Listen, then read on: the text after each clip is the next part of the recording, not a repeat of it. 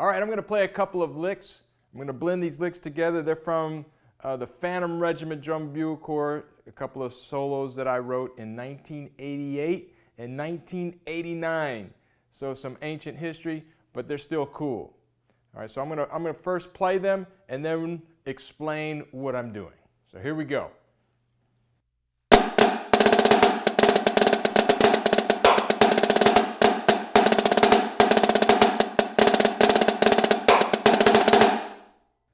Okay, here's the lick again at a slower tempo, and then we're to break it down piece by piece.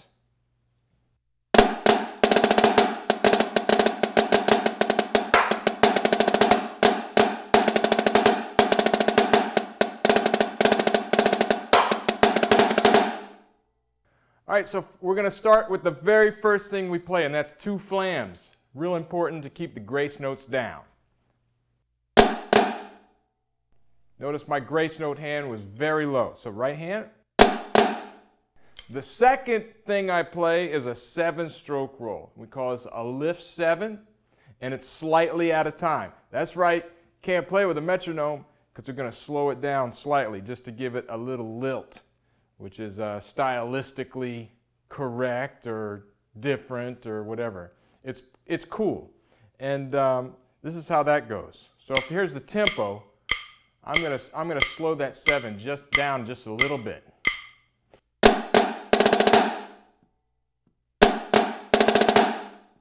Okay, so there's some breath, and then I play the seven stroke roll nice and big. And then from that point on, I'm gonna play in time metronomically. The next lick I play is basically flam accents with a diddle on it, or putting cheese on it. I'm going to put an accented diddle. And uh, you don't want to force that. So just make sure you don't force the diddle too much, kind of finesse it. So here's flam accents. And then with the diddle. But I don't want to press too hard. It'll distort the diddle. Okay, so here's the lick up to that point. And then I just ended it with three flams on the right hand. And that's probably, for me, one of the toughest parts is just getting the timing of the grace note and the primary. They're both bounce strokes, rebound strokes, but at different heights. Okay? So one more time, the beginning of the lick to there. The next part is a rim shot on the right hand, right on the E, and it's a double right. So right tap and then a right rim shot, like this. I missed the rim shot. There we go. Play an upstroke on the tap, so it's real quick, a little flick of the wrist. And that's what makes, that's the funky part of the lick. So just to do that, use a, use a quick upstroke, and you're there. So that makes it funky, that little lick right there. And then the next thing we play is a five-let pattern. One, two, three, four, five, one. Skeleton. And then I'm going to put diddles on all the taps.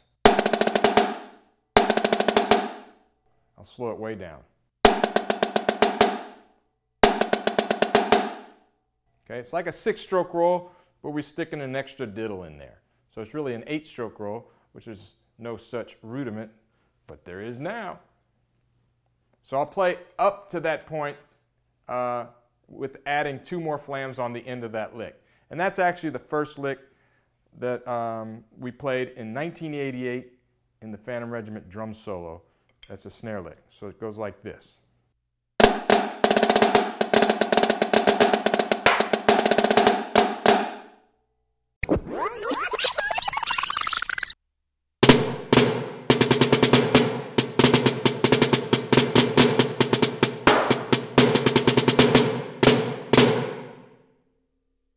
The second half of this lick is from 1989, and we're going to play with those fives again. Two of them. One starting on the upbeat, so it's going to start on the upbeat of one and end on the upbeat of two. It goes like this. And then I play another one starting on the left hand. Okay, so. But they're fives. I'll play it without the rolls.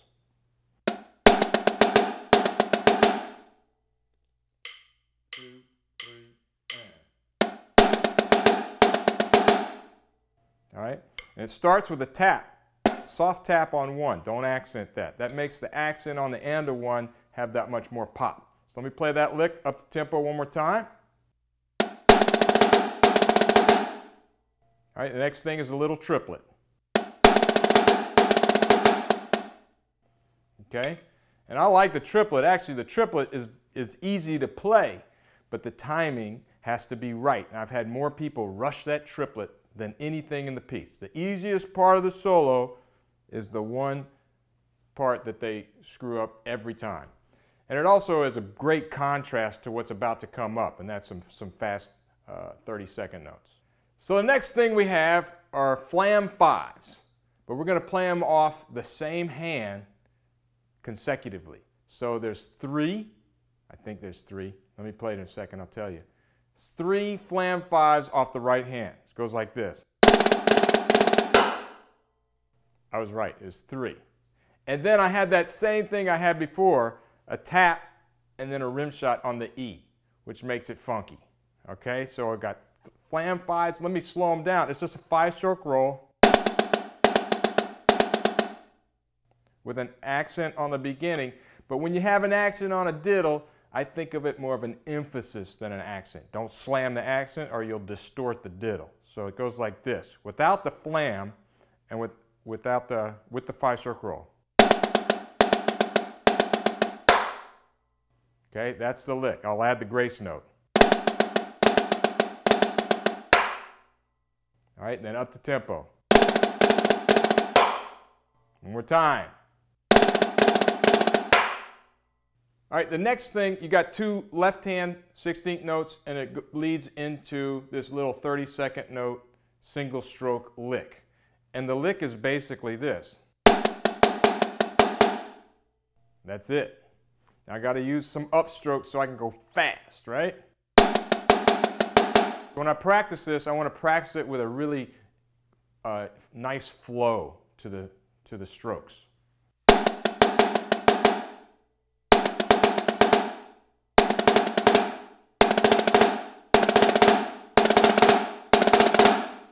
So that's the lick on the end. So let me play the flam fives, two little left hands.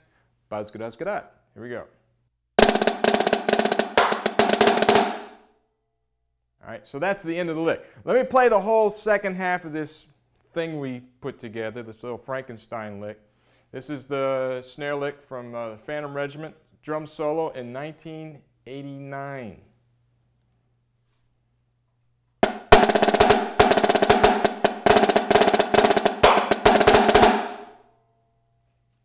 Right, so one more time, I'm going to play the whole lick from beginning to end, both licks put together. But remember, you got to break it down and slow it down so you can throw it down. All right? Didn't just come out playing the lick all together. You got to take each part and practice it individually and then piece it together slowly. But here we go. The final result.